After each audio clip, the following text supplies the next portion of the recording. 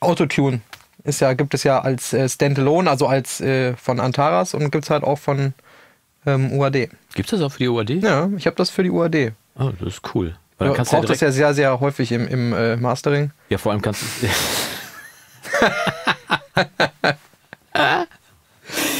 ja, immer. DAW-Versteher, dein Podcast im Recording-Blog. Mit Björn und Jonas. Ich habe mich so gefreut, endlich wieder hier zu sein bei dir, weil es ist echt, äh, einige Leute schrieben, hey, es ist schöner, wenn ihr beieinander sitzt, wenn man euch sehen kann, wo ich denke, ja gut, also bei Spotify kannst du uns ja nicht sehen. Aber äh, ich habe trotzdem mir auch gewünscht, dass wir endlich wieder gegenüber sitzen. Erzähle ich auch gleich noch warum. Äh, aber ich bin endlich wieder zu Gast hier bei meinem Freund und Mastering-Engineer, den goldenen Ohren von Holdwig, bei Björn Schlüter. Schön, dass ich da sein darf. Jonas, es ist schön, dass du den Weg trotz äh, eines fast schon einmonatigen Urlaubs äh, noch wieder hierher gefunden hast und vor allem, dass du auf dem Weg auch wieder Quarkbällchen mitgebracht hast. Das hat Natürlich. mir sehr gefehlt. die wir vor allem von, schon verspeist haben. Und das darf ich auch verraten für den geneigten Zuhörer. Äh, wir werden ja eine weitere Verkostung heute noch haben, die ich ja vor zwei Wochen angekündigt habe, denn ich habe aus Griechenland getrocknete Tomaten mitgebracht. Oh. Und unser großer äh, Tomatenfreund hat jetzt schon das P für Panik in den Augen stehen. Himmel, ja. Ja, wir werden gleich ein bisschen mehr schmatzen und, äh, und genießen. Mhm. Hoffentlich genießen, wenn wir dann gleich die äh, getrockneten Tomaten aus Griechenland verkosten. Bin gespannt. Ähm, ist ganz witzig mit, mit, äh, mit, deswegen weise ich darauf hin, dass es gleich etwas länger mal ein bisschen ruhiger werden könnte und wir nur so komische, anstößige Geräusche von uns geben, wenn wir die Tomaten von uns äh, zu uns nehmen, weil ich mische parallel ähm, unter anderem auch den Podcast Halbtrocken äh, von Timo Wolf. Das ist ein Weinsommelier und der trifft sich mit verschiedenen ähm, mit verschiedenen Leuten, die teilweise bekannt sind, weniger bekannt sind, Leute, die, die äh, große Stellschrauben in der Wirtschaft oder auch im, im Unterhaltungssektor drehen und so weiter. Schönen Gruß an Timo übrigens an dieser Stelle. Super Podcast, wenn ihr mal reinhören wollt. Äh, halbtrocken, da geht's um Wein und aber auch eben um diese Leute. Und der Timo sucht dann halt für die Leute, der kriegt vorher, beschäftigt er sich mit denen und dann äh, sucht er zwei, drei Weine aus und die werden dann vor Ort verkostet und dann wird einfach mal derjenige von dem und dem Wein überzeugt. Das sind Weine von, von 6 bis 60 oder auch bis 600 Euro. Also Das heißt, du hast jetzt Wein mit. Nee, ich habe jetzt keinen Wein mit, weil wir wollen ja nicht weinen ja- heute, aber ich wollte ja jetzt nur gerade sagen, da ist es auf jeden Fall so, um die Geschichte abzurunden, da ist es so, dass die natürlich dann irgendwann geht der Timo dann äh, zu seinen Weinflaschen, dann hörst du so das Eis in so einem in so einem Kühler irgendwie, dann wird eingeschenkt, gluck, gluck, gluck, gluck, gluck, gluck, gluck. und da ist einfach mal drei Minuten hörst du wirklich nur die ganze Zeit ja. Und das hörst du einfach nur. Das ist so, ziemlich komisch. Manchmal, äh, wenn man nur diesen, diesen Abschnitt ausgeklammert hört, dann ist es sogar ein bisschen unanständig, aber, aber geschenkt. Aber es ist schon faszinierend, den Leuten dabei zuzuhören, wie sie dann versuchen, Geschmack zu beschreiben. Und ich weiß nicht, ob dir das schon mal aufgefallen ist. Ähm, es, für viele Sachen gibt es ja einen Begriff. Also wir sitzen jetzt auf einem Stuhl. Der Stuhl steht auf einem Teppich. Der Teppich ist, der hat die Farbe rot, also ist der Teppich rot. Das hat also alles eine Bezeichnung. Aber Geschmäcker und Gerüche bis auf, nee, nicht bis auf, sondern Geschmäcker und Gerüche werden immer im Vergleich bezeichnet. Die haben also kein, also Salz schmeckt nicht Salz, sondern salzig. Ne, scharf ist ein Begriff, der, der festgelegt ist. Aber wenn etwas äh, irgendwie schmeckt, wenn du also was beschreiben möchtest, wie es schmeckt, dann suchst du immer irgendwie eine Analogie. Das ist, wie es schmeckt. Würzig, holzig. Nach schmeckt, Vanille, ja, ja. Schmeckt nach. Es ist immer ein Vergleich. genau. Es gibt also kein präzises Wort, das einen Geschmack bezeichnet. Äh, süß ist ein, ein bezeichnendes Wort. Ähm, scharf ist eins. Ähm, salzig ist aber schon wieder ja schmeckt nach Salz, ist schon wieder ein Vergleich und so weiter und so fort. Das finde ich so faszinierend, dass es tatsächlich, ich meine, in, in Schottland gibt es 600 Wörter für Regen, unterschiedliche Wörter für verschiedenste Arten von Regen, aber bei Geschmäckern sind wir alle gleich, wir machen alle Vergleiche. Und dann hörst du denen halt zu, wie die so abgefahrene Wörter suchen, wie, wie das jetzt schmeckt irgendwie. Und da war neulich eine Folge, ich glaube mit 1AB war, das sind zwei Mädels, äh, Luisa Charlotte Schulz und äh, Sprünki heißt ihre Freundin, die machen auch einen Podcast zusammen. Und ich sagte, es schmeckt, als wenn du am nassen Pferd leckst. ja, wer hat schon mal an einem nassen Pferd geleckt? Aber es gibt viele so Ausdrücke, wo man irgendwie einen Vergleich zieht, bei Geschmäckern oder bei, keine Ahnung, ähm, das geht auf keine Kuhhaut, wo du so denkst, ja, weißt du doch gar nicht. Hast du das schon mal versucht irgendwie? Das ist die Frage, die ich mir dann auch immer stelle. Irgendwie Ja. so, warum, wenn, woher weißt du das? es gibt ja diesen alten Gag irgendwie, hm, riecht wie Scheiße, schmeckt wie Scheiße, ich glaube, das ist Scheiße. Aber das, ja. Okay, Naja, gut. also damit haben wir das Thema dann auch rund Aber, abgerundet. aber meinst du denn, wenn jetzt zum Beispiel äh, zwei so Weinsommeliers Ja. äh, sich jetzt treffen auf einen Gin oder ja. so? Ja, Ne? Weil äh, Wein trinken die ja außerhalb der Arbeitszeiten dann wahrscheinlich nicht mehr. äh, doch, anscheinend schon, Meinst aber schon? weiter. Ja, so wenn die sich jetzt treffen und die äh, hören sich jetzt unseren Podcast an, Ja.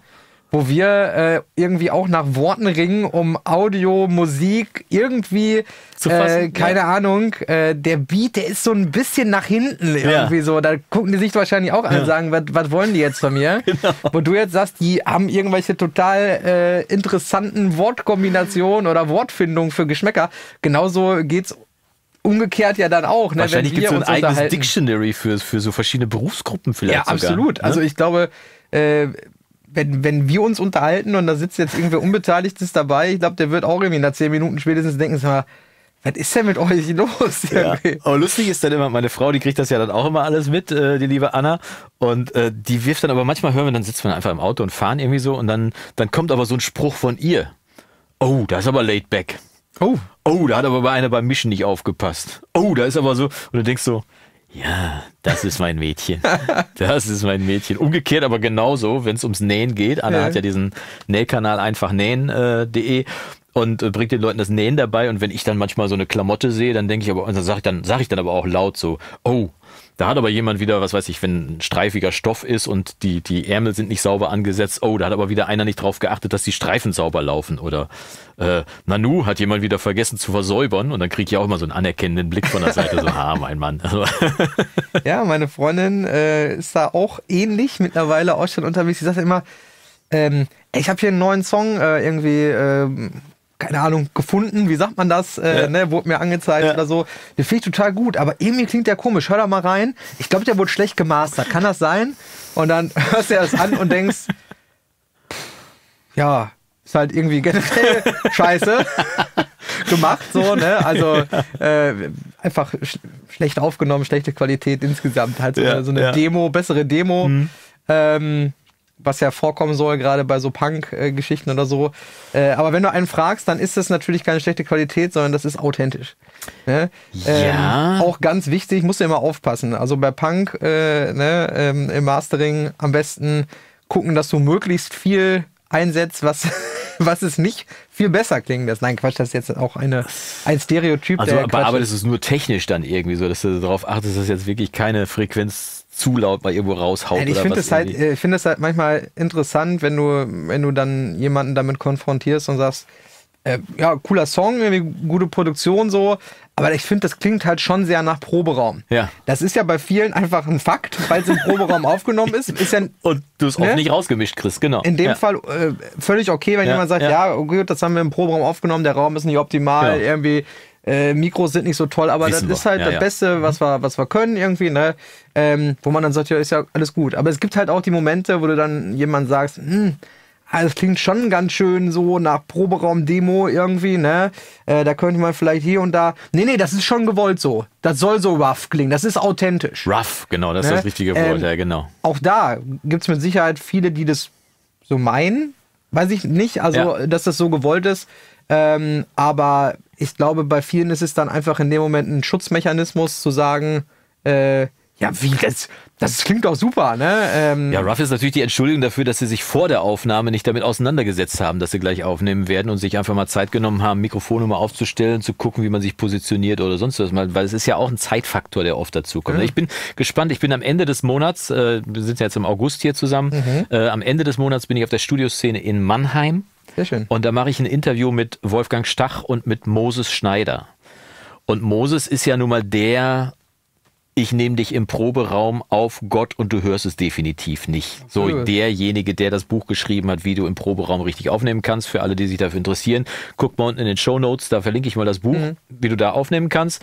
Und ähm, Moses bin ich mal sehr gespannt. Ich werde ihn dazu fragen, also ich werde beide fragen, also Wolfgang und Moses dazu fragen, wie die eine Produktion vorbereiten. Das heißt, wie arbeiten die in der Vorproduktion mit Bands zusammen, die die aufnehmen, die ambitioniert sind und zu diesen Pros jetzt, zu diesen renommierten Pros hingehen, weil die gehen da ja nicht hin, weil das einfach irgendwelche Aufnahmeingenieure sind, sondern die gehen natürlich zu denen hin, weil die auch die Hit-Singles an der Wand hängen haben und die Hit-LPs vor allem. Ne? Also Moses mit Tokotronic und äh, Wolfgang mit, mit Jupiter Jones unter anderem aber vielen anderen auch. Und da bin ich mal sehr gespannt, was die mir, wir haben leider nur eine Dreiviertelstunde, eine Stunde ungefähr Zeit auf der Studioszene, aber ich bin sehr gespannt, was die beiden erzählen, wie die wirklich rangehen und vor allem, wie die die Psychologie wohl angehen, weil das ist ja der schwierigste Part, den du ja auch gerade äh, so im Subtext mitschwingen lassen hast. Wenn du einen auf seine Fehler ansprichst oder vermeintliche Fehler, dann baut er erstmal einen Schutzmechanismus auf. Und wenn man mit so jemandem wie Moses oder wie Wolfgang spricht und arbeitet, äh, dann musst du ja aufmachen, dann musst du ja zulassen, Ja. dass jemand dir deine Unzulänglichkeiten präsentiert. Und dann ist es aber auch Aufgabe desjenigen wieder da, dafür zu sorgen, das so zu verpacken, dass es eben nicht so, ah, du bist so dumm rüberkommt, sondern zu sagen, guck mal, da haben wir noch ein paar Punkte, an denen wir arbeiten können. Und da bin ich mal sehr gespannt. Und ähm, ich habe vor dem Urlaub habe ich mit einer Punkband gesprochen, äh, die sich bei mir gemeldet haben wegen eines Videos bei mir. Wir wollen jetzt demnächst auch zusammenarbeiten und einfach mal meine Produktionsexpertise so ein bisschen einfließen lassen, um einfach mal zu gucken, wo man noch so die ein oder andere Stellschraube bringen kann. Ne? Ich hatte dieses Video gemacht zum Thema, wie du äh, deinen Song schneller zum Punkt kriegst irgendwie. Äh, Time to Chorus war damals das Thema. Wie schnell komme ich zu dem Teil, der eigentlich Ja, dein wichtig ist? Lieblingsthema eigentlich, heimlich, ne? Ist es schon, weil ähm, ich habe also ich habe ganz ganz viel Häme gekriegt für dieses Video oder ganz viel, ja, dann ist es halt nicht authentisch oder dann ich ich gönn mir die Zeit oder sonst was immer. Aber Das ist letztendlich das Schutzschild. Genau, da ist wieder der Schutzschild oder äh, äh, Kunst versus Kommerz und so weiter. Aber ich finde, dass sich das gegenseitig nicht ausschließt. Also ich finde, dass ein Song, auch wenn er nicht kommerziell angelegt ist, durchaus schnell zum Punkt kommen darf und mich mitnehmen darf. Und mich auch, also klar, unsere letzte Mixkritik, die wir gemacht haben, war ein Song, der mit so einer Atmosphäre anfing, mit so einem, mit so einer Stadtatmosphäre. Erinnerst du dich? Ja, nein. Auf jeden Fall habe ich, ah nee, haben wir nicht zusammen gemacht, habe ich alleine gemacht, deswegen erinnerst du dich Ja, nicht, weil, okay. weil wir nicht mehr zusammengekommen sind vor dem Urlaub. Die Da Mixkritik im- krank, genau. genau, genau, du warst krank und ich habe im Premium-Bereich dann die Mixkritik alleine gemacht. Der Song fängt halt mit so einer Atmosphäre an Mhm. und es muss eben nicht immer Time to Chorus sein, aber es war in dem Fall so eine Stadtatmosphäre und dann ging der Song los und zog dich so rein in das ganze Ding. Und der brauchte auch eine Minute, bis er beim Chorus war. Aber allein die Tatsache, dass der vorher so ein authentisches Klanggebilde, so ein, wie heißt es, so ein Foley-Sound reingespielt. Also ein Foley ist nicht richtig, so eine Atmosphäre halt reingespielt. schon, Hat mich schon ja. reingezogen, wo ich gedacht habe, ja guck mal, also es gibt auch andere Wege, Leute in die Songs reinzuziehen und einfach was aufzubauen. Ne? Ach, das ist ja, Regeln sind ja ähm, immer da, um sie zu brechen. Ja. Ne, das ist ja sowieso, und Regeln in der Art und Weise, wie man das Wort Regeln verstehen und interpretieren kann, gibt es ja sowieso nicht in der Musik. Und das ist ja das Schöne, Ja. man kann ja immer nur Tipps geben. Man könnte es so und so machen. Ne? Das ist eine Meinung, das ist subjektiv, das ist nichts, was man messen kann. Wir machen die Tür Ja? auf und du kannst durchgehen Ganz oder genau. nicht. Ne? LUFS kann man messen, muss man aber nicht. Ja. Ja? Also klar, also alles was, das ist alles nicht faktisch, wo Ja. wir wieder bei dem salzig, würzig, äh, Genau. rauchig, Ja. wie auch Ja. immer sind. Ähm, genauso ist es ja so, wenn ich sage, äh, ich esse gerne getrocknete Tomaten, äh, oder du sagst das in dem Fall, Mir weil sie schmecken sie, super lecker genau. schmecken und ich beiß rein und sage ganz ehrlich, äh, nee, ist halt nicht meins. Machen wir Deswegen ist es ja, ich habe schon ein bisschen Angst. ähm, vielleicht äh, quatsche ich einfach so lange, dass wir da gar nicht mehr zu kommen während des Podcasts. Dann mache ich das nächstes Mal. Kommst nicht raus aus der Nummer. Aber auf jeden Fall, Ja. äh, ne, Regeln, es ist ja wieder so ein Thema, wo wir immer auch landen, bei diesen ganzen äh, Lerngeschichten, äh, ohne Namen zu nennen, irgendwelche Tontechnikkurse und so, ja, die machen halt immer nur bedingt dann am Ende des Tages auch Sinn, weil sie doch subjektiv sind. Ja, Ja. und vor allem äh, darf man nicht vergessen, dass zum Beispiel Zahlen, wir haben ja auch schon oft über Zahlen gesprochen, ne? der Deutsche hängt sich gerne an Zahlen auf, Oh ja. orientiert sich gerne an Zahlen, aber das ist genau das Wort, orientiert. Es ist eine Orientierung. Es ist, damit du eine ungefähre Maßgabe hast, äh, beweg dich in dem Korridor, der Engländer sagt, äh, in the ballpark heißt das, also in dem Bereich beweg dich bitte. Und ich kriege jetzt gerade wieder eine Mail zum Thema, äh, oder war ein Kommentar unter einem YouTube-Video zum Thema äh, Aufnehmen. Mit welchem Pegel nehme ich denn jetzt richtig Vocals auf? Wo ich dann da sitze und denke, ja, er schrieb dann minus 18 äh, dBFS wäre so die, wäre jetzt so die Maßgabe, mit der er aufnehmen würde. Aber was wäre denn richtig? Und ich sitze da und denke, naja, das ist nicht übersteuert. Ja. Also, das ist, wenn du ganz laut bist, dass dann nicht die rote Lampe angeht und vielleicht hast du noch ein, zwei dB Luft äh, für ex weitere Explosionen oder so, aber nicht irgendwie eine Zahl, sondern beim Einpegeln gucke ich nur, dass ich mit dem lautesten Peak eben nicht im roten Bereich bin und dann nehme ich auf. Ich habe auch immer wieder die Fragen, äh, ja, mit welchem Pegel soll ich dir das denn schicken zum Mastern jetzt? Ne? Äh, und äh, wo ich dann auch immer sage, ja gut, alles unter minus 0,1 äh, dB Full Scale ist für mich total tutti irgendwie, weil letzten Endes, ob ich das dann 6 oder 7 dB leiser ziehe, bevor dann ich dann Master, genau. äh, bearbeite, oder ob er halt irgendwie äh, darauf achtet, dass das auf minus 6 äh, macht. Gibt es ja auch ein paar Tricks, wie man das machen kann. Packst einfach ein Game-Plugin auf deinen Masterbus Ja. wo du 6 dB äh, reindrehst. Ne? Wenn es dann nicht übersteuert äh, während der ganzen Produktion, machst du am Ende vom Export das Game-Plugin aus und du hast Mix, der Super zumindest Trick, mal ja. minus 6 oder minus 7, wie auch immer, Ja. dB dann Luft hat. Aber wie gesagt, das ist halt nicht wichtig. Ähm, die Frage ist ja noch okay, weil oft so Guidelines es auch gibt. Ich habe selber mal irgendwie, glaube ich, eine Guideline rausgegeben, wo dann stand minus 6 oder minus 3 dB oder so. Das ist dann aber mehr, um die Leute einfach ein bisschen darauf aufmerksam zu machen, dass es gut wäre, dass wenn sie dann vielleicht ihre äh, Mastering-Bearbeitung oder ihre Summen-Plugins dann rausnehmen, Ja. dass es dann schon schön wäre, wenn ich dann nicht nachher ähm, ne, irgendwie ein Ding habe, der dann 3 dB True Peaks hat oder sowas. Ja, ne? vor allem ist es ja wichtig, dass die nicht nur dann noch eine Dynamic Range von 0,5 dB Ja. haben, weil sie halt vorher schon x-fach komprimiert haben Wenn und sie dann das gerne haben wollen, dann ist das ja okay. ja gut, ne? aber dann wäre es ja besser, wenn du das machst. Ja, aber machen. letzten Endes der, der der Pegel, das ist ja klar. Aber ich habe auch oft die Nachfrage, ja, was, was für eine LUFS-Zahl sie mir denn anliefern sollen oder RMS oder so, wo Ja. ich sage, wie soll ich das denn beantworten? Ne? Ja. Was, also, äh, das ist ja genau wie, welche LUFS-Zahl ist dann richtig nach dem Mastering? Das ist ja genau- wäre genau das Gleiche. Ja, ne? stimmt. Äh, Also klar, ist es manchmal, nee, nicht manchmal, sondern immer, wenn du einen leisen Mix hast. So, der Mix ist jetzt bei minus 1 dB, ich rede vom Mix, nicht vom Master. Ja. Peakt bei minus 1 dB heißt ja erstmal gar nichts. Null. Das Peak-Level ist Nee. völlig wurscht. So. So, und der hat jetzt irgendwie eine durchschnittliche oder an der lautesten Stelle äh, eine RMS von, von minus 12, minus 11, keine Ahnung, was vergleichbar ja dann auch irgendwie so minus, äh, zwischen minus 10 und minus 12 LUFS Ja. sind. Ähm, dann ist das, ist das ein lauter Mix. Ja, dann ist das ein lauter Mix. Ein genau. lauter Mix. Ja. Der hat wahrscheinlich nicht mehr äh, so viel Dynamic Range. ja. Muss aber auch nicht unbedingt sein. Wir haben ja nicht über Integrated Stil, genau. Äh, äh, ähm, Werte gesprochen, sondern das kann ja auch der Short-Term-Wert sein. Das ist einfach eine große Dynamik. Bei einem Orchesterwerk kann das auch mal sein oder so, ne? Filmmusik, äh, dass du super viel Dynamik hast und die lauteste Stelle ist trotzdem sehr, sehr laut. Ja. Ne? Ja. Ähm, das ist nun mal so. Das ist aber das Blöde, wenn du dann im Auto sitzt Ja. und dann immer nachregeln musst und dann wieder, was? Das stimmt, das ist bei, bei der Art von Musik natürlich so. Ja. Aber du kannst ja äh, einen, einen leisen Mix, natürlich kannst du den laut mastern, Ja. indem du den halt völlig gegen die Wand fährst. Ja. Aber du fährst dann halt eben die Summe gegen die Wand. Wenn ich einen lauten Mix haben will, weil ich ein lautes Master haben will, dann kann ich ja auch schon auf den einzelnen Spuren und eben auf den Bussen, Schlagzeug, was auch immer, da kann ich ja auch schon für eine gewisse Dichtheit dann einfach sorgen, äh, mittels Kompression oder sogar Limiting auf Bussen oder sowas, ne?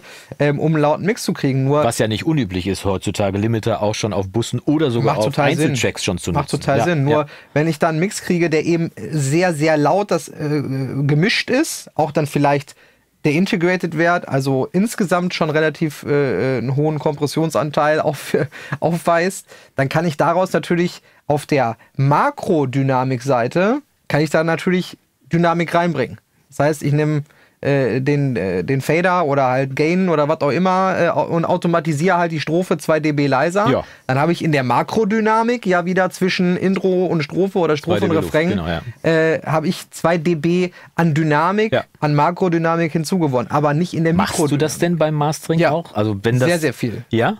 Sehr, sehr viel. Weil es ist ja eigentlich, also für mich gehört das mit Pro- zum, zum Mix dazu, natürlich auch die Makrodynamik anzupacken und zu sagen, Mhm. okay, ich höre vielleicht ganz am Schluss oder irgendwann im Mixprozess höre ich mir den Song ein und mache dann auf dem auf dem Mucke-Komplettbus, auf dem Vocals, meistens auf dem, auf dem Bus, wo alles zusammenkommt, dann nochmal die Makro drauf und starte ein bisschen leiser, mache die Strophen ein bisschen leiser und, und die Refrains ein bisschen lauter, sodass ich mit dem letzten Refrain im Prinzip da bin, wo ich final rauskommen will. Ja, Äh, also und ist das ganz- machst du im Mastering. Mache ich auch. Also ich habe äh, witzigerweise diese Woche ähm, einfach so rein aus Interesse zwei Fragen gestellt bei Instagram. In der Story. Ähm, das erste war, äh, wie viel Zeit äh, investierst du im Durchschnitt für Automation während eines Songs? Dann bin ich mal gespannt. Okay. Rauskam von das niedrigste war, glaube ich, 20 Minuten, was ein, jemand angegeben hat. Das höchste waren zwei bis drei Stunden, was jemand angegeben hat. Ne? Derjenige, der 20 Minuten geschrieben hat, ähm, jetzt muss ich kurz überlegen, doch, genau, äh, der habe ich dann ähm, gesehen im Profil, ist mehr im Rap-Hip-Hop-Bereich unterwegs. Okay. Und derjenige, der zwei bis drei Stunden geschrieben hat, der macht ganz, ganz viel akustische Musik, generell akustisch, aber viel eben auch im Bereich, ähm, sage ich jetzt mal so Singer, Songwriter, Country, Rock, Pop so. Das heißt, mit ganz vielen akustischen Instrumenten oder fast ausschließlich mit akustischen Ja. Signalen arbeitet er. Ne? Ähm, dann habe ich noch eine zweite Frage gestellt, einen Tag oder zwei Tage später. Welche Parameter bearbeitest du mit Automation oder automatisierst Ja, du? ja. Ähm, weil ich glaube, viele denken beim Thema Automation immer noch zu sehr einfach nur an Lautstärke, ne? an den Ja, Fader. ja, ja. Ne?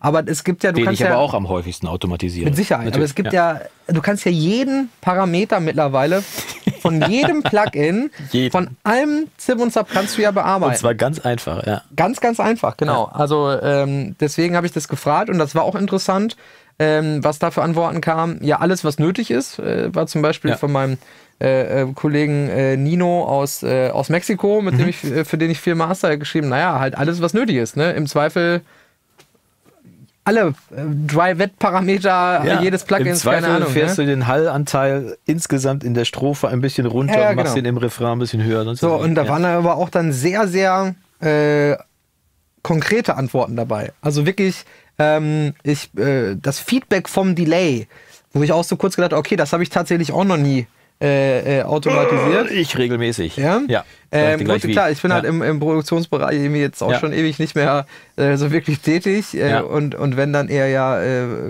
Orchesterbereich oder so. Ähm, klar, auch ganz, ganz viele interessante Sachen, aber trotzdem glaube ich, zu dem Thema Automation, äh, dass das immer noch nicht bei allen so im Kopf ist. Ne? Ganz im Gegenteil. Es sind so unfassbar viele, auch tolle Songs, die ich wirklich zugeschickt Mhm. kriege, wo diese letzten 20 Prozent nicht drauf sind. Das sind schon 20, ja. Und ich frage mich immer, warum? Weil man steckt so viel Zeit und Mühe in den Mix rein und letztendlich kriege ich dann trotzdem einen statischen Mix zugeschickt. Natürlich gibt es einige Arrangements, die von sich aus schon so viel Dynamik und Abwechslung mitbringen, dass du da nicht mehr so viel automatisieren musst oder dass es eher Kleinigkeiten sind. Makrodynamik auf jeden Fall. Aber ganz oft denke ich, ihr macht alles richtig. Und warum lasst ihr denn jetzt diesen, diesen finalen Schritt noch weg und automatisiert noch ein bisschen durch die Gegend? Weil ähm, neulich habe ich ein Coaching gemacht mit dem Michi äh, Premium VIP-Kunde. Äh, den habe ich übrigens auf dem Rückweg jetzt vom, von Griechenland besucht in Österreich. Liebe Grüße Michi an dieser Stelle, falls der du das sehen und Trompeter. hören solltest. Genau, der Trompeter Michi aus, aus Österreich. Wir saßen in seinem Studio äh, und ähm, da, äh, jetzt habe ich den Faden verloren, verdammt, warum wollte ich das erzählen? Ich Automatisieren? erzähl- äh, automatisieren, genau. Achso, genau, und da habe ich ihm erzählt, ähm, den habe ich schon so ein bisschen ans Automatisieren rangeführt und dann wollte er aber noch mal so ein bisschen noch mal nachfragen, mich ist über 70, wollte noch mal nachfragen, warum denn eigentlich automatisieren? Ich sagte, ja, du musst dir einfach vorstellen, dass da früher an so einer Konsole eine große SSL mit 40 Fadern, äh, als man die noch nicht automatisieren konnte, also als da noch nicht Motorfader drin Ja. waren, dass da einfach fünf Leute gesessen haben mit acht oder zehn Fingern irgendwie und die haben den Mix gefahren.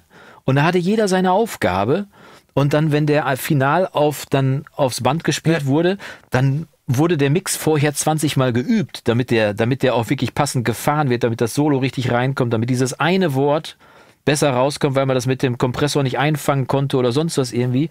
Und dann haben die mit fünf Mann den Mix an der, an der Konsole gefahren. Gibt es ja auch ganz, ganz krasse Aufzeichnungen drüber, ne? Bei den Master-Tapes dann ganz oft, irgendwie, wo du so zwei DIN A4-Seiten hast, wo genau dann Regieanweisungen Ja. quasi drinstehen, ne? Äh, Kanal so und so an der Stelle dann auf minus zwei und. Ja, weil du auch äh, keinen Recall hast an der Stelle. ne? Ja, ja, Wenn du einen genau. Recall hast, dann musstest du erstmal alle Knöpfe wieder einstellen und dann mussten die Leute ja auch alle wieder wissen, was sie tun müssen, nur um eine Kleinigkeit zu reparieren. Und, ähm, und habe ich gesagt, ja, und das können wir heute in modernen DRWs halt alles automatisieren. Jeder Fader wird von uns automatisch gemacht und wenn irgendwas jeder an einer Stelle. Plugin-Parameter, alles, das muss man sich ja vorstellen. Ja, und, und zum Feedback vom Delay zum Beispiel, warum ich das äh, automatisiere. Ich habe es ganz oft oder mache das unfassbar gerne, dass ich einfach ein Delay wiederkommen lasse. Ne, Mhm. ich lasse das erstmal auslaufen und dann hast du meistens so einen, so einen Weg von, von acht Takten manchmal, so eine Strecke irgendwie und da lässt du dann halt so eine, so eine, so ein Delay lässt du auslaufen. Und äh, dann ist es fast weg. Aber am Schluss von diesen acht Takten hole ich das dann gerne so als, als Überleitung, hole ich das dann wieder. Und das mache ich super gerne mit einem Tape Plugin, also mit einem, mit einem Tape-Delay, weil du dann halt auch wirklich ein ganz kaputtes Delay wieder bekommst. Ne? Das Delay ist ja ein Tape-Delay, es wird also simuliert wie die Band, wie das Band, das, Ja, das, und dann lässt du das auslaufen und sobald das relativ leise ist, ähm, ich stelle ein Feedback von, sagen wir mal, 70 Prozent, dann läuft es aus und dann äh, stelle ich den auf leise und hole das Feedback dann auf 200 Prozent und das schiebt das dann so richtig nach vorne. Und dann kann ich mit dem Fader dieses kaputte Delay wiederholen und habe dann quasi so eine Hinleitung zum nächsten Teil. Und da kannst du so viel, also kannst wirklich richtig viel mitspielen. Und wenn man sich manchmal fragt, wie die das hingekriegt haben, ja, die spielen halt einfach mit den Knöpfen rum. Früher am, am RE äh, 201, dieses Roland Band Echo, da haben die halt einfach am Knopf gedreht. Und den Knopf können wir automatisieren. Das machen wir einfach. Ne? Aber das ist ja genau äh, das Thema, wo du eben sagst, machst du das im Mastering auch? Ja, natürlich, weil ein Master statisch zu machen, ist genauso wie ein Mix statisch zu Ja. machen. Ne? Das heißt, äh, selbst bei einem klassischen Pop-Song, der irgendwie aus drei Teilen besteht oder so, sage ich jetzt mal, oder, oder vielleicht vier mit einem Intro, ähm, selbst da ist es ganz oft so, dass du völlig andere EQ-Settings in den Strophen haben möchtest als, als im Ver äh, Vergleich dann zum Refrain. Ja. Ne?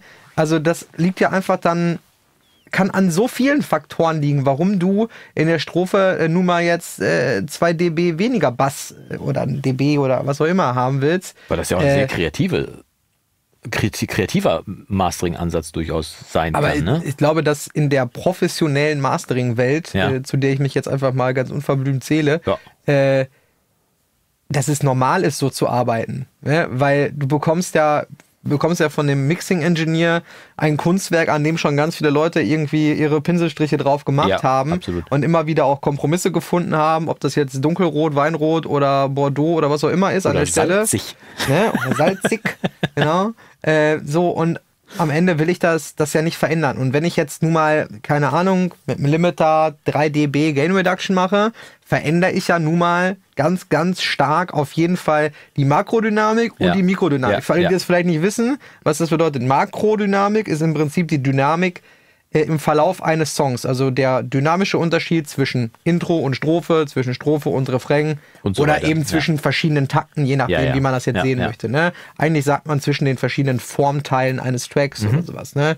Und Mikrodynamik ist ja dann im Prinzip das, was zwischen Peak und ähm, äh, gemittelter Lautheit Ja, ja. sozusagen stattfindet. Ne? Das heißt, das, was wir vor allem eben auch mit Kompression ähm, äh, bearbeiten und verlorene Makrodynamik ist einfach im Mastering wieder herzustellen. Das heißt, wenn ich beispielsweise ähm, mit einem Limiter äh, irgendwie dann oder mit mehreren Limitern arbeite, äh, um, um eben dann eine gewisse Lautheit zu erzielen, die ich gerne haben möchte oder die für mich am besten klingt. Ähm, oder weil sie so im Buch steht, dass sie richtig ist, Ja. natürlich, ist ja klar. oder im YouTube-Video gelernt habe, dass man das so mastert. Der hat das ja schließlich gesagt. Äh, genau. Ähm, dann äh, kann ich ja einfach dann im nächsten Schritt äh, ähm, wieder hergehen und sagen, ich mache jetzt eine Automationskurve rein und mache die Strophe 2 dB leiser oder fahre eben 2 dB.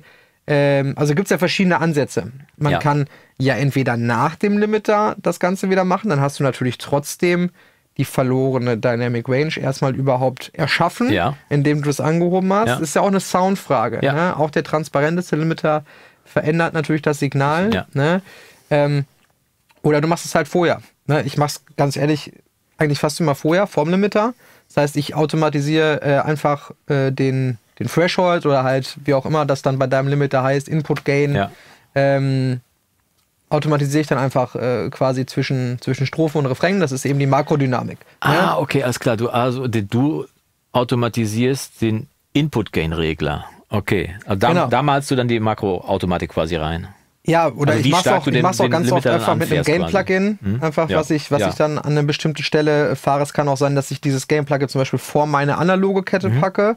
Aus irgendwelchen Gründen, dass ich äh, mit deutlich mehr Signal ähm, in gewisse Geräte reinfahren möchte. Das kann ich natürlich auch händisch machen an äh, und kann sagen, äh, keine Ahnung, ich nehme den, den Gain-Regler vom, vom Manutech zum Beispiel, Ja. der ja nicht nur Gain macht, sondern wie wir ja in dem in dem Manutech-Video, was wir zusammen gemacht haben, der macht ja auch wirklich Sound noch. Jo, aber hallo. Also der geht ja. Ja. auch wirklich dann, ich sag mal, bis ein, zwei Klicks okay, aber dann bist du schon wirklich in einem sehr, sehr äh, äh, saturierten, äh, gesättigtem äh, Bereich. Ne? Aber da kann man auch, das mache ich auch sehr gerne, den letzten Refrain einfach einen Klick mal reinzugehen oder so. Aber ne? da komme ich jetzt tatsächlich zu einer Frage.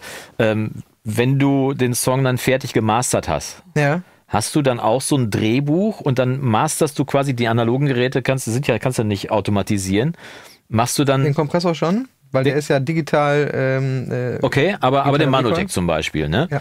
Ähm, spielst du dann in Realtime aus quasi und fährst Ja, den Mix? Ja, ja. muss ja in dem Fall, genau. Ja und, und, und fährst dann aber auch den Mix. Das heißt, Genau. du hast vorher auch dein kleines eigenes Drehbuch geschrieben für einige Ja, Sachen. also ich sag mal so, das ist jetzt nicht so übertrieben wie äh, an einer 40-Kanal SSL-Konsole sitzen, ist Schon klar. Ähm, sondern da geht's dann, oder was ich da gerne mache, ist zum Beispiel mittel, mittels Gain einfach analogen äh, Gain äh, dann wirklich zu benutzen, ähm, um zum Beispiel dann den letzten Refrain oder einen gewissen Part nochmal nach vorne Ein zu schieben. dB nach vorne oder Entweder ganzes, ja. zum Beispiel, äh, ich bin, du weißt ja, ich bin nicht so der, der große äh, Kompressionstyp im Ja. Mastering, ne? Ähm, aber zum Beispiel, um auch mehr Gain in den Kompressor reinzuschieben, um bewusst einen gewissen Sound zu erzielen. Ja. Natürlich könnte ich auch den Threshold automatisieren oder am Threshold drehen vom Kompressor. Äh, aber ich sag mal, an so einem dicken Knopf vom Manotech zu drehen, macht auch einfach mehr Spaß. Ne? Ich kann aber dann auch ganz bewusst sagen, ich nehme den Gain hinter dem Kompressor, also zum Beispiel den Output-Gain vom Kompressor Ja. oder vom EQ, der hinterm Kompressor kommt Ja, oder ja. sowas, um ganz bewusst eben nicht in den Kompressor mehr Gain äh, reinzubringen, also mehr, mehr Level reinzubringen. Da gibt's ja ganz, ganz viele verschiedene Ansätze. Ne? Ähm, aber ganz oft, oder was, was ich eigentlich ja, in jedem Projekt habe, ist auf jeden Fall das Game-Plugin ähm, vorm, äh, bevor irgendwie Limiter auftauchen bei mir in der Chain. Ähm, und dass da zumindest nochmal irgendwie, und wenn es nur ein dB oder manchmal ein halbes oder, oder 0,7 ist oder sowas, um einfach diese Makrodynamik innerhalb eines Songs so ein bisschen mitzufahren. Und wenn es nur zum Beispiel äh, bei elektronischer Musik mache ich das sehr, sehr gerne. Das machen auch viele meiner Kollegen, das weiß ich, ähm, vor dem äh, Drop oder sowas. Da wirklich einfach nur, einfach nur zu dieser Zählzeit äh, 1 zu dem dahin Voll da einfach sein. 4 dB reinfahren. Ja. Auch wenn ich dann definitiv wieder dreieinhalb davon wahrscheinlich im Limiter äh, äh, Wegfangen, wieder ja. äh, zurückfeile. Ja. Ne? Aber trotzdem hast du dann einmal diesen mega fetten Energiemoment Diesen drin. Einschlag, genau, Ne? ja. Diesen Einschlag, der natürlich soundtechnisch äh, ne, macht dann eben so ein Limiter, ist halt auch Distortion und, und sowas, was da Ja, passiert, ist mal genau. so. Ähm, aber das ist dann halt einmal, ja, dramaturgietechnisch der Höhepunkt. Und das darf man eben nicht vergessen. Das geht da bei der, bei der äh, Automation nicht einfach nur um Spielereien oder so, es geht auch um Dramaturgie. Man kann absolut. sich kreativ komplett austoben. Und vielleicht, ich, vielleicht ist es auch so, dass die Leute keine Idee haben, dass sie sich an die Automation. Also erstmal gibt es ja die, das, den Mythos, Automation wäre kompliziert.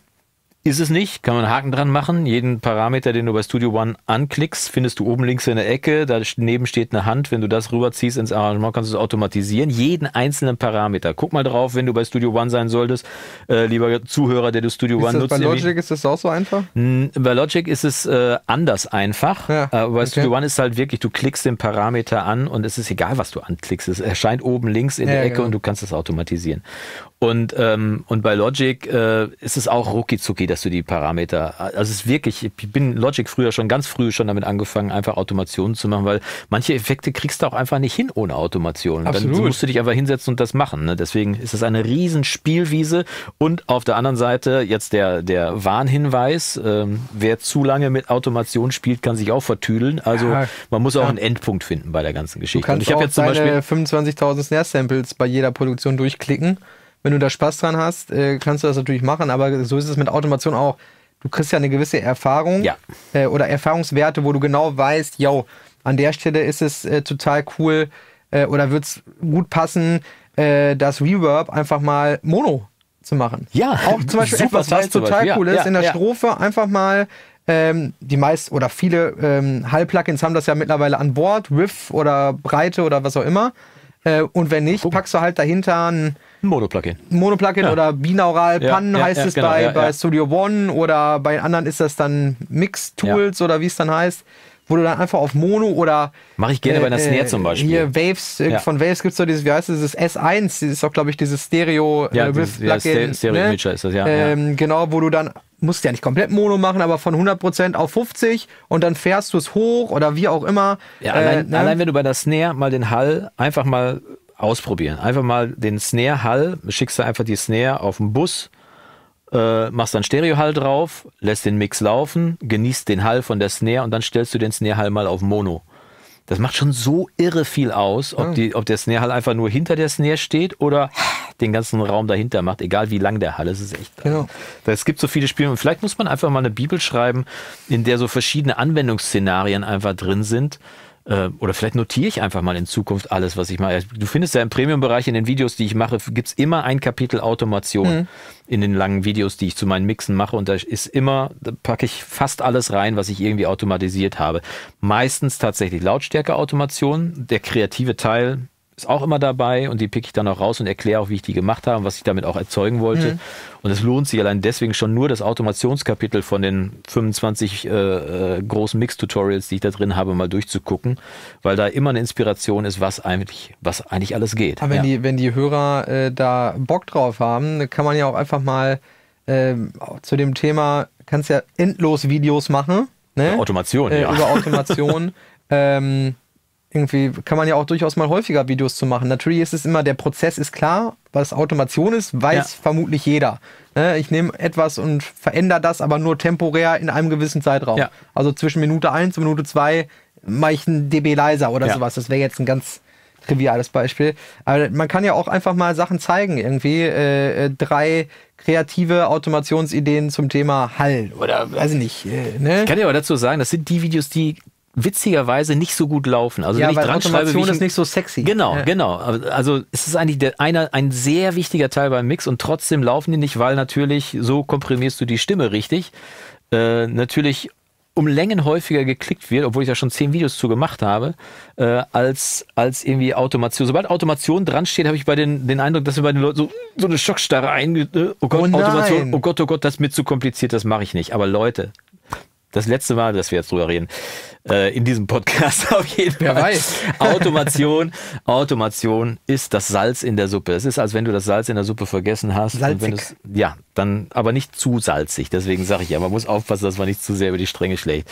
Aber das ist tatsächlich so. Mit Automation kann man fantastische Dinge auf jeden Fall anrichten. Und ich habe tatsächlich in dem Speedmix, den ich jetzt gerade auch laufen habe bei YouTube, wir haben so eine kleine Serie mit sieben Folgen, äh, wo ich innerhalb von zwei Stunden einen Song am Stück einfach so wegmische, ist tatsächlich auch hinten äh, Automation mit dran, die ich auch noch damit reingekriegt habe. Und auch da, witzigerweise, die Reaktion natürlich total irre. Ne? Ich verfolge seit langem einen Mischer aus New York, der hat dieses Speedmixing quasi mehr oder weniger, sagen wir mal, nicht erfunden, aber als Übung erfunden, sagen wir mal. Ken Nee. Lewis heißt er.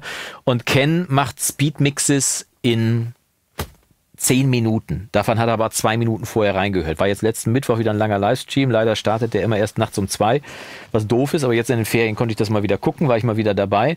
Und zu mal lange aufbleiben. Ja, total. Ne? Aber, äh, ähm, aber es ist halt so, der hat dann halt einen 40, äh, 40 Track-Song da liegen irgendwie, der ist anderthalb Minuten lang und wenn du die alleine durchhören wolltest, um zu hören, was auf der Spur los ist, bist du bei 40 mal anderthalb Minuten, ist die Stunde ja schon um. So, der hat also vorher schon mal reingehört keinen, und der, nee, den interessiert den auch gar nicht. Der schiebt dann einfach Fader hoch und er sagt, er hat pro, bei einem 40-Track-Song mit 10 Minuten hat er ungefähr 20 Sekunden oder 13 Sekunden pro Track zu entscheiden, wie laut er den macht. Jetzt steigt er natürlich nicht intensiv in EQ oder sonst was irgendwie ein. Und ich bin leider letztes Mal zu nicht lang genug wach geblieben. Ich hatte ihn nämlich gefragt, wie er denn einen Nicht-Pro Mix angehen würde im Speedmixing. Ne? Also jetzt nicht perfekte Spuren vorproduziert oder aus Sample Packs zusammengeschoben und eine geile aufgenommene Stimme mit fertigem Hall drauf oder Mhm. so, sondern was machst du eigentlich mit der, die wir gerade schon am Anfang erwähnt haben, mit der Proberaumaufnahme?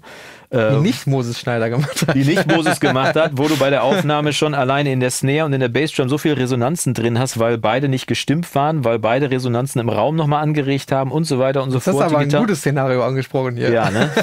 Und so weiter und so fort, wo du dich ja alleine schon mit dem Equalizer eine Stunde dran austoben kannst. Und da hast du, da bist du noch nicht mal bis zum Bass gekommen und dann Speed zu mixen. Also der Track, den ich dir jetzt Speed mixe, der war von der Aufnahme her gelungen.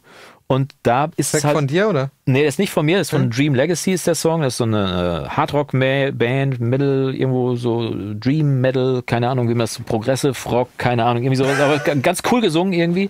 Und ähm, Also auf jeden Fall mit Gitarre. ja, mit Gitarre, geiler Sänger, Chorgesang, Keyboards, äh, Schlagzeug ist äh, aus der Dose. Ähm, und das waren auch, keine Ahnung, wie viele Spuren das waren, auf jeden Fall zwei Stunden. Fand ich jetzt sportlich, vor allem weil ich das mit laufender Uhr gemacht habe und am Stück bis hinten zum finalen Limiter. Also ich habe es gesagt, vom, vom ersten Fader bis zum finalen Limiter zwei Stunden. Und dann kam irgendwann darunter, wer zum Teufel braucht zwei Stunden für einen Mix? Habe ich kurz überlegt, also wenn ich einen Mix ernst nehme, dann komme ich nicht unter zwei Stunden, weil ich habe alleine schon, also ich, also man muss ja so viel hören alleine beim Mischen schon, dass ich allein mit Hören schon auf eine Stunde, also reines passives Hören, was alles da ist und nochmal durchhören und habe ich noch eine kreative Idee. Am Schluss vor allem hört man ja ganz oft einfach nur durch und, und macht noch so Mini-Justagen und so weiter. Und das war dann, dann kam aber eine Diskussion unter diesem Thread auf, äh, stellt sich heraus, dass es halt einfach ein Beat mit, äh, Beat mit Stimme-Mixer ist. Ach so, ja gut. So, da brauche ich auch keine zwei Stunden für. Ne? Ich Aber- meine, grundsätzlich ist, bin ich ja Fan davon, von so Speed-Mixing-Geschichten, was du schon sagst, weil Mhm. Dieser Punkt, den du gerade erklärt hast, du sitzt da, hörst wieder durch, änderst da was, änderst da was, änderst da was. Das ist ja auch ein Prozess, in dem du dich komplett verlieren kannst. Ja. Der kann dann ja bei einigen auch mal sechs Monate gehen oder sechs Jahre. Sechs Jahre. Ne? Immer mal wieder Terence aufmachen. Trent D'Arby, sechs Jahre. Ne? Immer mal wieder aufmachen. Ah, jetzt, äh, ne. Äh, Und du hörst immer was, egal. Natürlich, ist, ist so, ne? Ja. Und äh, das ist, ist im, im Mastering-Bereich natürlich genauso. Ja. Ne? Auch da bin ich ein Fan davon. Ich habe auch, sagen wir mal, wenn man mal dieses technische drumherum, was ja auch zum Mastering gehört, Ja. äh, weglässt, sondern nur dieser Prozess, äh, alles ist irgendwie ready in der, im Projekt ähm, und ich drücke jetzt auf Play und schau und hör, hör mir das halt an ja. Äh, und fange an, äh, das zu bearbeiten. Da habe ich auch meistens so nach 15 Minuten oder sagen wir mal zwischen 10 und 15 Minuten habe ich eigentlich auch 90 Prozent stehen. Weil das, diese Entscheidung, das ist ja dieses, ähm, oh je, ja, Wortfindungsstörung. Dieses erste Mal hören, eine Entscheidung treffen. Ja. Keine Ahnung, gibt es ja mit Sicherheit irgendwie einen Fachbegriff, äh, meinst du? Fachbegriff Ja, oder ja. so für, ne? Äh, dieses Intuitive sozusagen, ne? Das ist oftmals ja das, ja, am besten kann man jetzt ja auch wieder nicht messen, aber wo du Aber am Ende vielleicht wieder Ja, landest, ja, ja. Ne, nachdem du 180 andere Sachen vielleicht ausprobiert Ja. hast.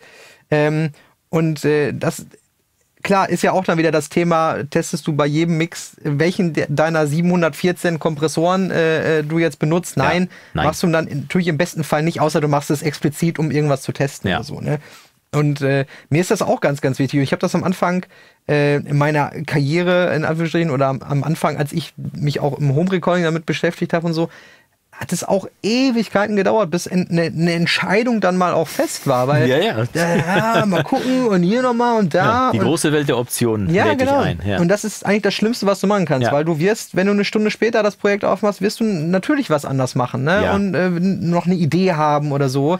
Also das sagte der Ken dann halt auch, ne? Und ähm, dann äh, wurde er im Rahmen dieses, äh, dieser, dieses Livestreams wurde er auch angesprochen, wie er seine wie er kontrolliert, ob äh, seine Mixfähigkeiten noch besser geworden sind. Jetzt ist das ein Mann, der seit 30 Jahren mischt, der von Kendrick Lamar über Eminem, über Beyoncé, BTS äh, nicht nur gemischt hat, sondern auch mitproduziert und auch teilweise Background-Chöre gesungen hat. Also wirklich ein Allround-Talent, der Mann. 100 Platin- und Gold-Auszeichnungen an der Wand hängen. Richtig geiler Typ. Ähm, und er wurde gefragt, wie er das kontrollieren kann. Und er sagte, weißt du was? Weil der dieses Speedmixing ja erfunden hat. Er sagte, ich habe äh, seit der Corona-Pandemie macht er diese Livestreams abends da. Ne? Und er er hat in jedem Livestream hat er einen von diesen acht bis 15 Minuten Speedmixen gemacht. Und er sagt, allein diese 50 Speedmixe, die ich da gemacht habe, haben dafür gesorgt, dass selbst ich noch besser geworden bin und noch genauer, zielgerichteter, präziser arbeite, weil, und das ist einfach der Trick an der Geschichte, es ist die Übung, die das macht. Ne? Natürlich. Und natürlich kommt bei meinem Speedmix auch nicht der finale Mix raus, den du bei Spotify von der Band hören kannst. Aber es geht ja um den Weg, um die Übung. Und zwei Stunden am Stück zu mischen ist, wenn du dich nach der Tagesschau hinsetzt und die Session ist vorbereitet. Das heißt, du bereitest die einmal vor, die Session, nackig, aber dann Fader runter. Ne? Äh, dann kannst du dich nach der Tagesschau hinsetzen um Viertel nach acht und bis um Viertel nach zehn mit dem Speedmix fertig und hast zwei Stunden intensiv gemischt, gearbeitet und ein Ergebnis.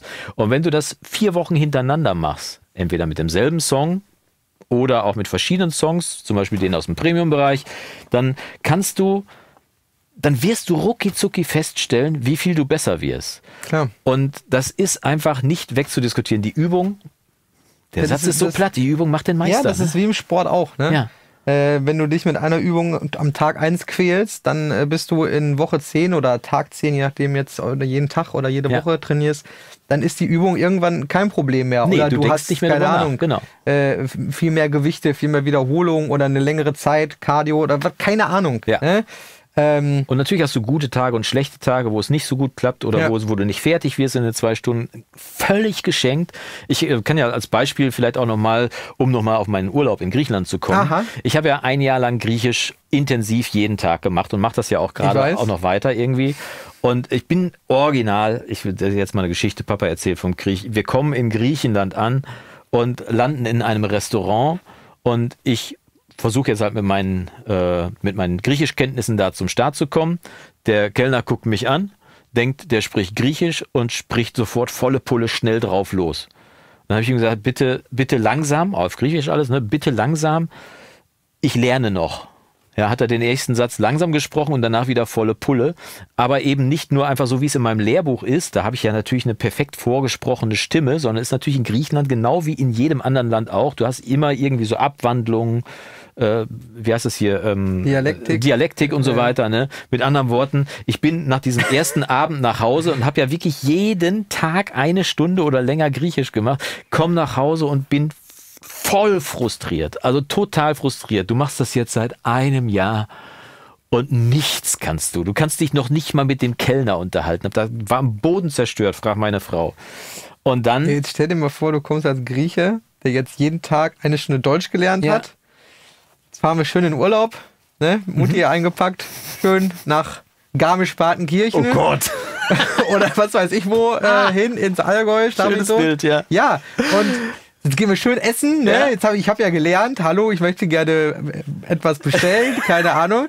Und dann guckt dich da so ein Kellner an, wie du es jetzt gerade auch beschrieben hast, der anfängt da äh, einfach mal aus dem tiefsten Bayerisch-Repertoire raus, äh, dich da äh, voll zu labern. und der gibt sich schon Mühe, Hochdeutsch zu sprechen. so Keine ist ja Chance. genau das gleiche Szenario. Ich war total frustriert und dann bin ich aber nach Hause und das war am Anfang von unserer Zeit in Griechenland. Wir waren ja vorhin in Italien und dann drei Wochen in Griechenland und dann kennen wir aber jetzt viele Leute in Griechenland und auch nette Griechen, die dann auch wissen, dass ich das lerne, die sich dann auch Mühe gegeben haben. Und tatsächlich war dann nach drei Wochen klar, aha, der kleine Jonas hat also doch einiges gelernt und Sehr kann schön. sich tatsächlich rudimentär mit den Leuten schon mal unterhalten. Und das war ja so ein bisschen, so ein bisschen Ich werde das auf jeden Fall mal testen. Apropos testen, du Nein, kommst nicht raus nein. aus der Nummer. Das war ein schönes Stichwort, denn jetzt zum Schluss der Podcast-Folge. Ich wollte eigentlich sie sagen, raus. ich werde das mal testen, wenn wir das nächste Mal zum Griechen gehen. Ja, und bevor wir zum Griechen gehen, ich halte es mal hier in die Kamera für alle Leute, die uns hier bei YouTube zuschauen. Da sind die getrockneten Tomaten, die ich mitgebracht habe von Vassili, der sie mir verkauft hat. Vassili, der einarmige Gärtner, von dem ich so, erzähle ja. habe. Dazu auch noch eine kleine Geschichte, bevor wir dazu kommen. Ich war bei Vassili ähm, und äh, habe dann die Tomaten bestellt und der, der, der machte sich die ganze Zeit auch über mich lustig, weil ich habe mit ihm Griechisch gesprochen und der, der sprach auch so, dass ich wirklich frustriert weggegangen bin und gedacht habe, was für ein blöder Penner, dass er es nicht ernst nimmt und respektiert, dass ich mir Mühe gebe, ihn zu verstehen und der haute einfach raus. Aber Vassili ist ein Spaßvogel und der machte sich dann Spaß raus, mich immer so ein bisschen so an der Nase herumzuführen und mich dann wieder zurückzuführen, sodass ich das verstehe, was er sagt. So, ne? Auf jeden Fall habe ich zu Vassili gesagt, ich hätte gerne äh, getrocknete Tomaten, einmal nur getrocknet und einmal in Öl eingelegt. Nur getrocknet halten die nicht so lange. Die werden zwar in der Sonne getrocknet, aber dann sind die vielleicht eine Woche haltbar und in der Zeit musst du die dann auch wirklich essen. Und wenn die feucht werden, fangen die auch sofort an zu gammeln. Also habe ich auch welche in Öl mitgenommen, das sind jetzt diese hier. Und ähm, dann habe ich ihn gefragt, wann soll ich wiederkommen, weil er macht das alles händisch. Ne? Das ist ja also wirklich ein Garten. Und sagte, komm mal eine Stunde wieder. Alles klar. Ich dann also weggegangen, total frustriert, auch sauer auf Vassili ähm, und sein Kumpel, der da saß, und komme dann nach einer Stunde wieder, um meine Tomaten abzuholen. Da guckte er mich an, sagte, ah, Jonas, Malaka. Malaka heißt so viel wie, das darf ich jetzt nicht sagen, ist aber auf der einen Seite eine Beschimpfung, auf der anderen Seite eine böse Liebkosung. Das ist so wie Digger. Ne? Wenn ich's mal, ich, es ist nicht die Übersetzung, aber Digger wäre jetzt so. Ich könnte sagen, du bist Digger, dann würdest du sagen, wie, ich bin gar nicht dick, oder, oder Digger heißt Kumpel, so, ne? Ja, verstanden. Und Malakka. Also damit wusste ich, okay, alles klar, Vasili Malakka hat mich auf jeden Fall schon mal in sein Herz geschlossen und jetzt fing er dann aber auch genau dann in dem Moment erst an, die überhaupt einzupacken. Hat aber den großen Vorteil, dass ich zugucken konnte, wie er sie einpackt. Das heißt, er holte ein Glas raus, machte dann ähm, ein bisschen Olivenöl rein, dann packte er jede Menge Tomaten da rein, dann sein frisches Gewürz, was er da reingepackt hat, irgendwie ähm, Lorbeer, Pfeffer, alles aus seinem Garten und so weiter, packte das dann zusammen. Das wurde luftdicht voll gemacht mit Olivenöl aus seinem Garten und dann zugeschraubt. Perfekt, super. Habe ich dann äh, mitgenommen und wie gesagt, das sind die, die Tomaten, die er mir dann gegeben hat und die werden wir jetzt verkosten. Hier sind zwei Löffel. Der Trick ist, die werden ein kleines bisschen ölig sein, äh, weil das ja in Olivenöl liegt. Der Trick ist, es lange zu kauen Okay. Weil dann erst der komplette Geschmack rauskommt. Ich verspreche dir schon, es schmeckt nicht wie eine uselige Tomate.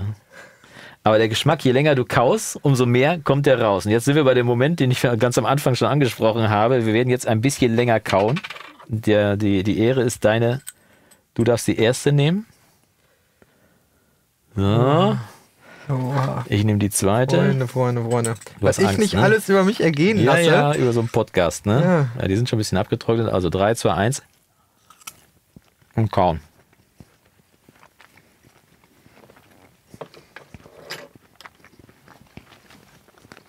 Je länger du kaust, umso mehr kommt der intensive Geschmack raus.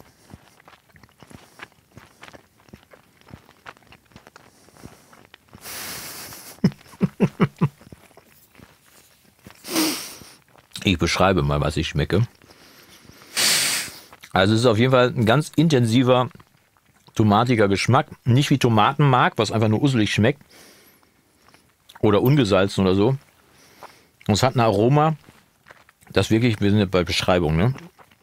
Je länger du es kaust, sehr, sehr intensiv und nicht salzig, nicht süß, irgendwie ganz, ja, tomatig halt rauskommt. Also ein Geschmack von Tomate, den du definitiv hier in Deutschland nicht kriegst. Und jetzt kommt der Nicht-Tomatenmöger. Ich sag mal, ich fange mal mit dem mit der Zusammenfassung oder mit der, ähm, wie sagt man das? Ist Mit dem Fazit fange ich mal an. ich werde kein Tomatenfan dadurch jetzt, Okay. aber ich bin tatsächlich sehr positiv überrascht.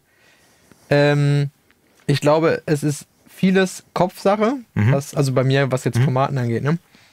Und ich glaube, dass mindestens, weiß ich nicht, 60, 70 Prozent auch die Konsistenz vielleicht auslöst. Wobei ich die Konsistenz jetzt hier auch nicht so toll fand. So fürs Mundgefühl, es Ja, war ist so ein bisschen gummiartig, ne? Genau, man hat das Gefühl, du hast ja gesagt, lange kauen, aber man hat irgendwie das Gefühl, es Kommst passiert auch nichts Ja. so Mhm. richtig, ne? Ähm, aber, also der Geschmack von Tomate, äh, jetzt nicht die, die Frucht angesprochen, sondern in, in einer verarbeiteten Form, passierte Tomaten, Soße, Mhm. Ja. wie auch immer, ist mir ja bekannt. Das ist ja, Ja, jetzt nichts, ja, was, genau. ich, was ich abscheulich finde oder so. Aber es ist schon interessant, wie intensiv das aber schmeckt. Also das muss ich schon sagen, schmeckt schon, ich fand extrem fruchtig. Ja. Ja? Also das schon. Ähm, wie gesagt, ich werde deswegen jetzt kein äh, großer Kein. Tomatenfan werden. Aber tatsächlich würde ich mich mal weit aus dem Fenster lehnen und sagen, das Leckerste, was ich in, ne, im Zusammenhang mit Tomaten wäre jetzt ja wieder falsch, weil wenn man mal passierte, was weiß ich, abzieht, Hochkomprimiert oder so. genau, genau. da würde ich das re relativ weit nach oben. Und das hier ist halt die, die Methode, wie du zum Beispiel in einem Salat, das würdest du dann klein schneiden, Mhm. wie du in einem Salat noch so das letzte Ding mitgeben kannst. Dann kaust du natürlich nicht die komplette geviertelte Nee. Tomate, sondern sind das kleine Stückchen, die dann halt so dem Salat nochmal das bisschen dabei geben. Ne? Kann ich mir tatsächlich in vielen Ja. Szenarien gut vorstellen. Also Kann man auch pürieren übrigens. Ja, oder zum Beispiel, weiß ich nicht, ähm, so auf so einem Sandwich oder so. Ja, Irgendwie mit ja, Sicherheit ja. auch sehr, sehr Kriegst du in geil. Italien ganz oft, dass du dann auch getrocknete Tomaten drauf hast oder auf. Bruschetta oder wie heißt das? Genau, Bruschetta? Brus, Bruschetta. Bruschetta. ja, Italienisch steht übrigens als nächstes auf der, auf der Übung drauf, Sehr gut. weil wir ja dann den Hinweg in der Regel über Italien wählen.